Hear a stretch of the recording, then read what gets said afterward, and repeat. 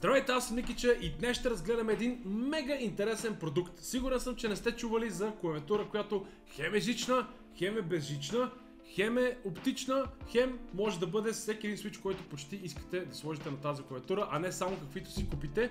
Може да сменяте сами свичовете и още куп други интересни неща ще видим в е този продукт, който най-сетно успях да докосна, а именно Keychron K4 версия 2. 96% wireless. Благодаря супер много на пичовете от ClickSpace, които ми изпратиха да разгледам и да тествам тази клавиатура тук и както да я представя пред вас, за да разберете дали може би не е това следващата клавиатура, която искате да си вземете. Тя е на доста по-нестандартен бранд от нормалните, които сме свикнали да разглеждаме в този канал, но именно за това смятам, че ще бъде много интересна да я разгледаме заедно и да ви споделя моите впечатления за нея. Никога до сега не съм тествал, не съм разглеждал, дори не съм виждал на живо Keychron клавиатура и Ево на пичовете от ClickSpace, между другото, които се откликнаха за да я разгледаме и да ви представя пред вас именно тази интересна клавиатура. Защо е интересна? Останете с видеото до края и ще разберете.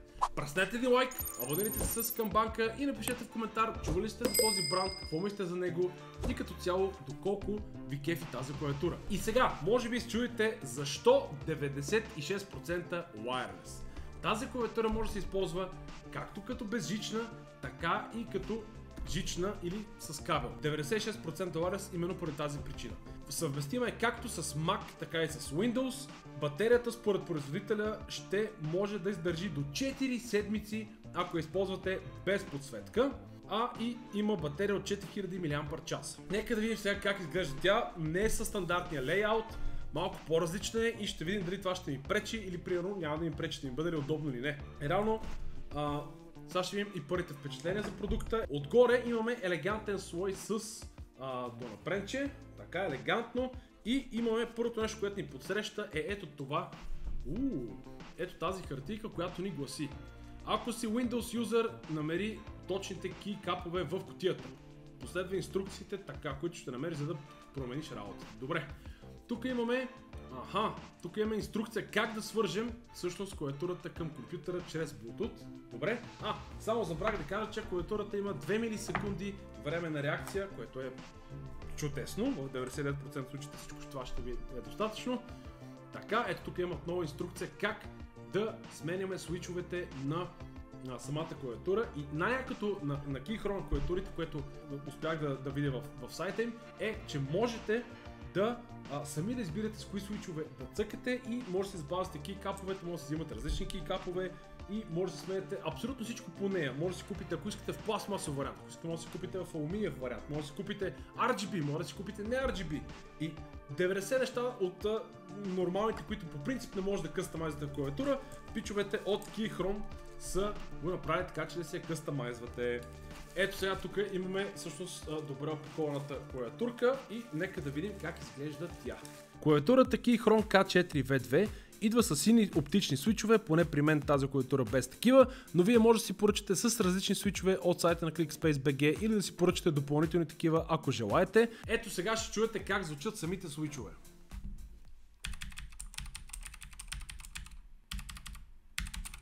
Можете да свържете до 3 устройства и много лесно в рамките на секунда да промените на кое устройство искате да функционира клавиатурата чрез Bluetooth. Естествено това се случва чрез Command или FN опцията и 1, 2 и 3, зависимост от устройството, което искате да използвате. Много скандално изглежда тази клавиатура.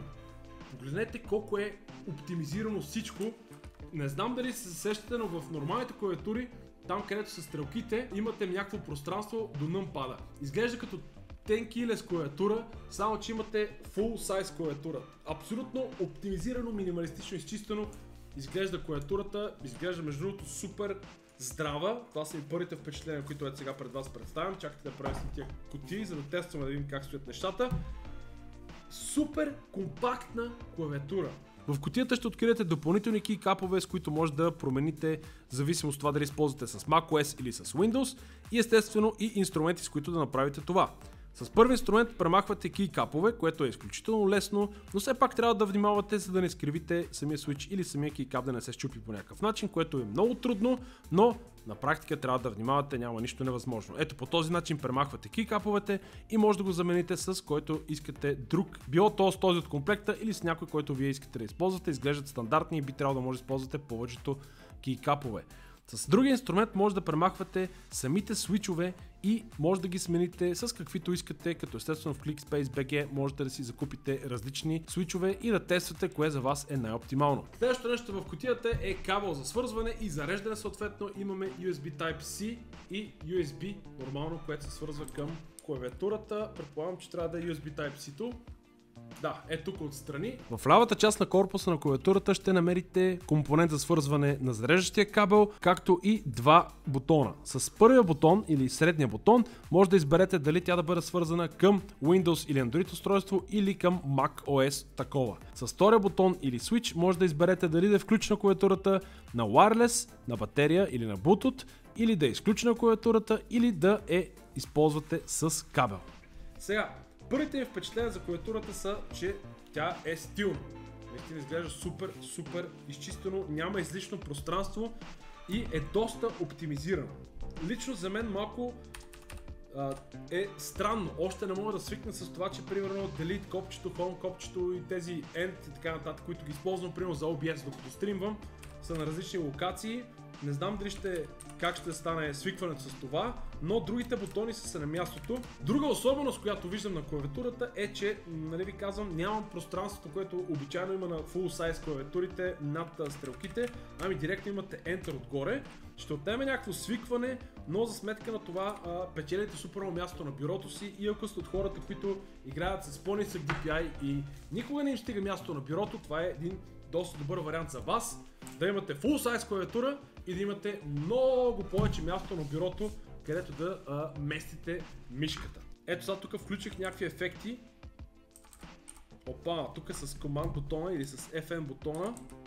Команд бутона е за Mac, т.е. стандартно те са а, я приготвили за Mac и ако искате да си я ползвате на Windows, просто отваряме тук капчетата, и взимаме устройството, хоп, премахваме този команд бутон и на него място слагаме Windows бутона. О, супер, супер лесно се премахват копчетата и много лесно се инсталират различните кейкапове. Отдолу на самия корпус имате кръченца, с които може да сложите клавиатурата под ъгъл, за да е по-удобно за използване. Поне аз лично така използвам своята клавиатура. От към светлини ефекти имате над 15 опции за подсветка, като може да я регулирате от самата клавиатура, чрез горе в дясно имате една лампичка и съответно 1, 2, 3, 4, 5, 6 избирате различните ефекти, които искате да включите. Клавиатурата разполага и с команд бутони, с които можете да извършите различни функции, като например медени бутони, контролиране на самата светлина на клавиатурата, контролиране на самата подсветка на бутоните, звук, увеличаване, намаляване, мютване и всякакви различни опции. Клавиатурата изглежда доста стабилна и здрава, качеството на изработка е много добро и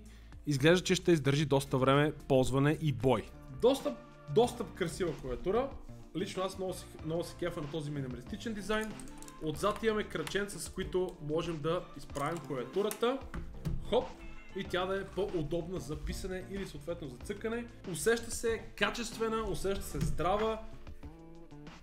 Отдолу мисля, че това е, с, това е пластмасови вариант, но тя е супер, супер стабилна, както чувате няма никакво пукане. Често казвам, клавиатурата изглежда стабилна и единственото нещо, което аз виждам като потенциален проблем е разместените копчета, които на дизайн изглеждат супер, но на практика не знам колко време ще отнеме да свикнете, но съм сигурен, че свикнете ли, а, няма да е проблем за вас. Интуитивно са поставили Delete копчето да е на лесно място, защото може би от тези Delete Home End копчета най-често използвам аз лично поне, предполагам, че и повечето от вас Delete копчето. Escape, Tab, всички други копчета са ми на мястото, където сте свикнали да бъдат. Единствената разлика е в тези Delete Home End и липсата на въздух, на пространство между а, самите стрелки Space и Numpad. Но за сметка на това получавате повече място на бюрото. Интересно ми е да науча какво мислите ви отдолу в коментарите за тази клавиатура Keychron K4 версия 2. Бихте ли използвали такава клавиатура и като цяло вашите впечатления? Благодаря ви и до следващото видео. Линк за клавиатурата естествено ще има долу в описанието към ClickSpace BG. Благодаря!